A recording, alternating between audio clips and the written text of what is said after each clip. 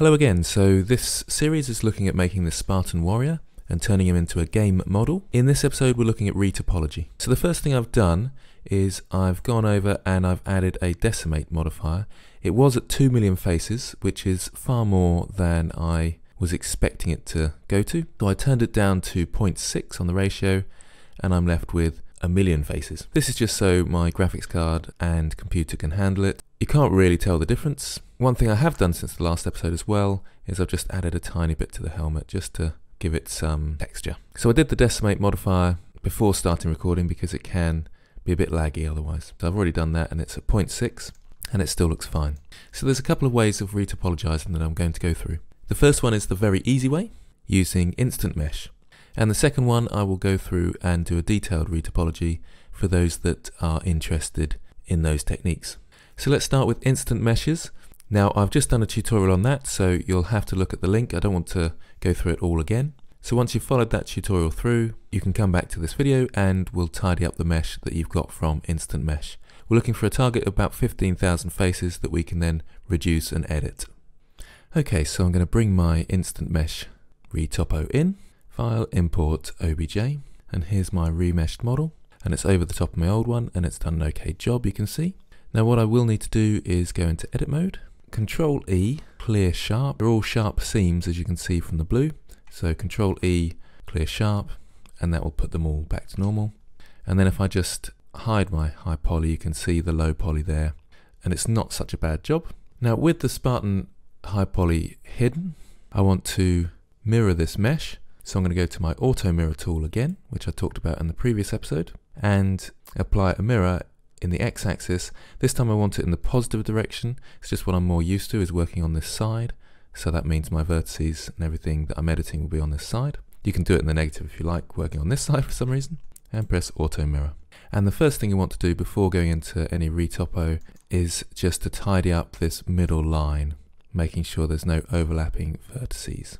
So around here, it's not worth having these, for example, and this edge loop coming up here. In fact, if I hide the see-through mode, as I call it. So to get rid of those, alt-click and delete and then dissolve edges. And that will get rid of any issues surrounding that sort of thing. So there's one here as well. Alt-click to select the line, dissolve edges. You will end up with n-gons around the place, but that's okay. One here as well. So these tiny lines which we don't want dissolve edges and just make sure they're tidied up. That looks a bit strange at the moment, but we will tidy all this up later. You can see how the topology is very strange around here. It needs a fair bit of tidying up, really.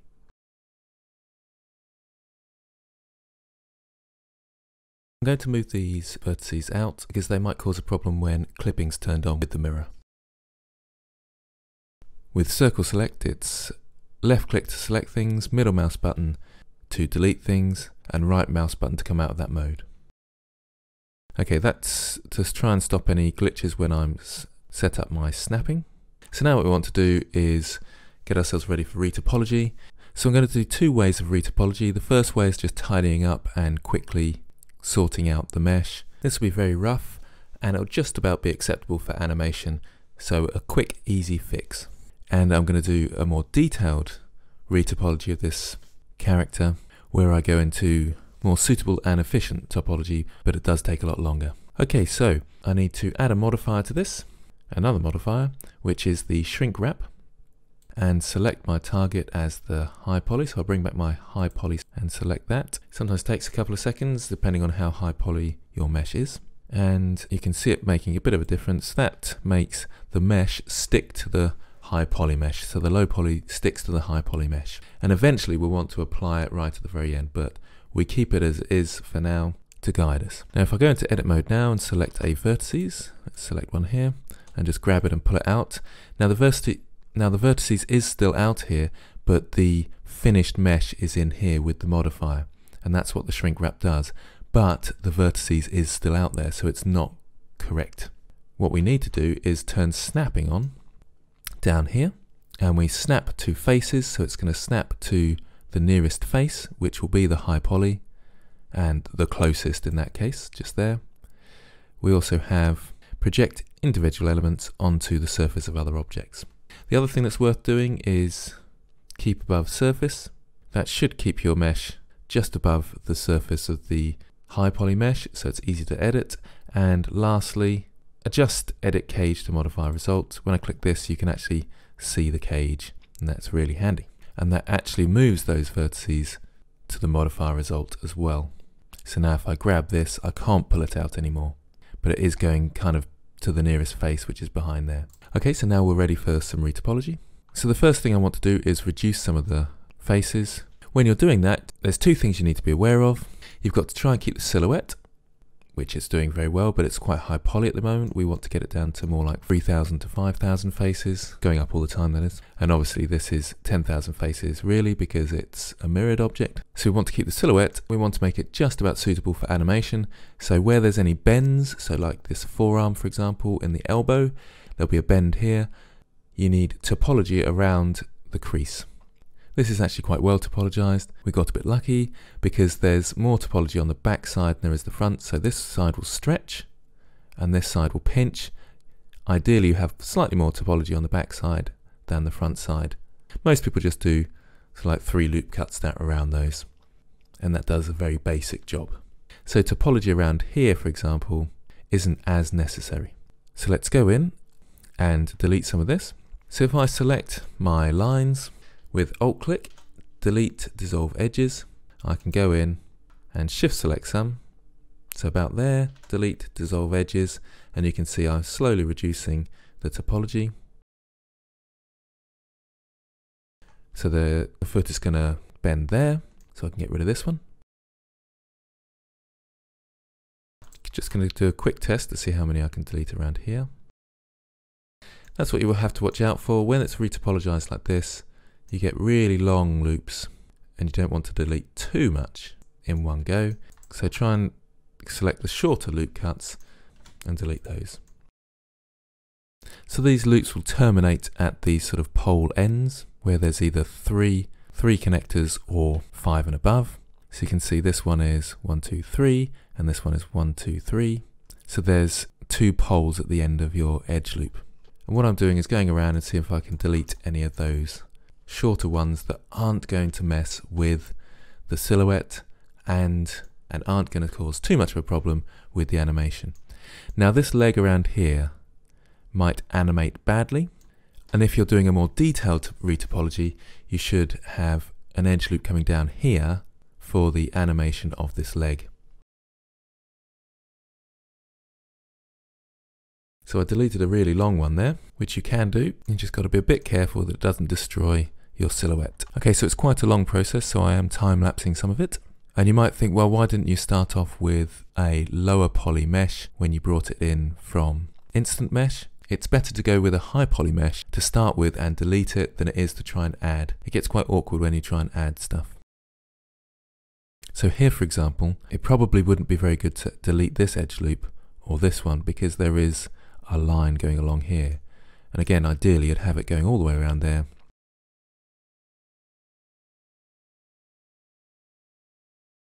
Now this is quite an unusual one, and the best thing to do here, I want to delete these two, I think, and have a straight line going down there.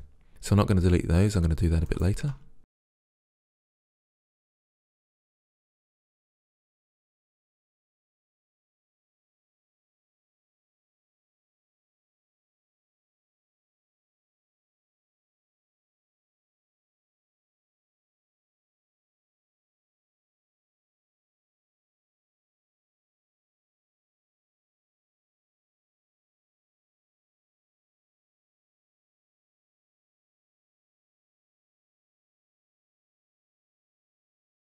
Now I think that's the sort of distance you want ideally. You can go a bit further depending on whether there's sort of topology sticking out like this and whether it affects your silhouette, but that's the sort of size of quads I'm looking for in the end.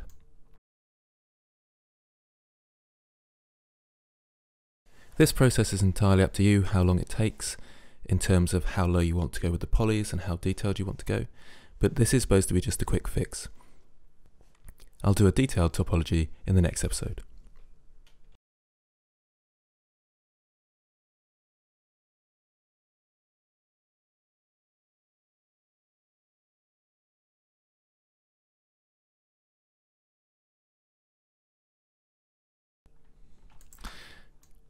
So ideally I don't want to get rid of this one because you can see that it's coming down here in a nice way around the neck but I don't really need it up here so at times you might want to get your circle select and deselect these areas.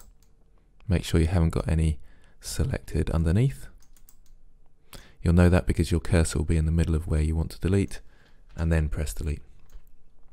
And we have got a triangle there, but we can sort that out later.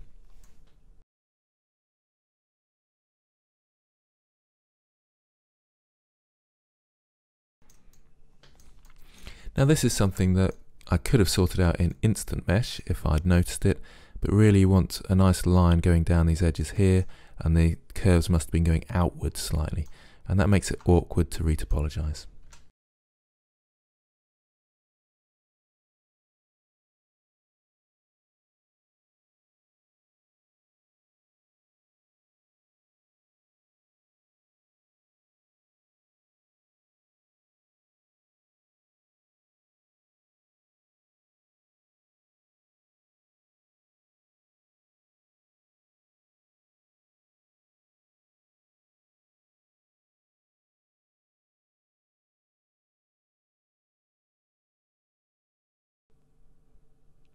Okay, so this has gone quite far, and you can see it's really struggling to stick to the mesh now. If I delete the high poly mesh, you can see it's all warped all over the place. So we'll certainly have to go back and sort those sort of issues out.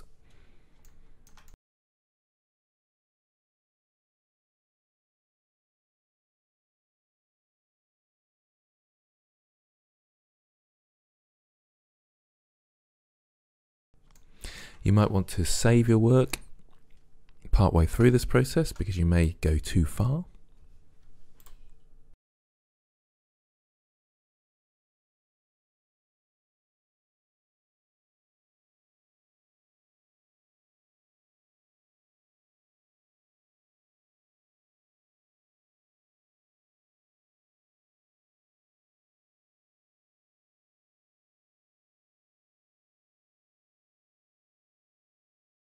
So I'm kind of looking for ones that the pole ends abruptly.